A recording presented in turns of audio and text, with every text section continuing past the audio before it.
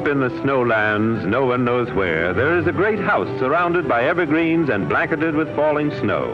In this dream house all year long, there is hustle and bustle, scurrying feet, and the constant tap, tap, tap of workers' mallets as Santa Claus and his helpers prepare for that great day, Christmas. This home symbolizes sacrifice, generosity, and unselfish effort for others.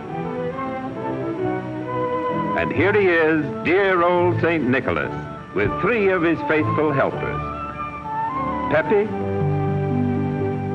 Zippo, and Click.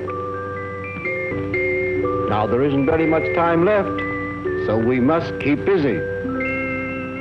Yes, there is much to be done, for children everywhere believe wholeheartedly in this grand old man. This means constant toil and tinkering, so that thousands of presents will be ready to make Christmas Day the happiest in all the year.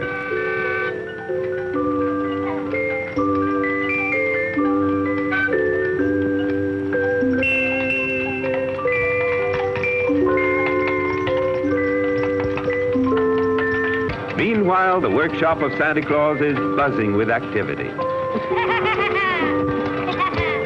Industriously and happily, they fill his many bags with toys and presents for all.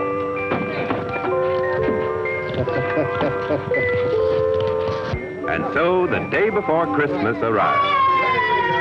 His work done, Santa prepares to leave for his long ride through the sky. Now then, you be good little boys while I'm away, and I you, eh? You know I've got a lot to do, but I'll be back before long. So, bye-bye. Bye-bye.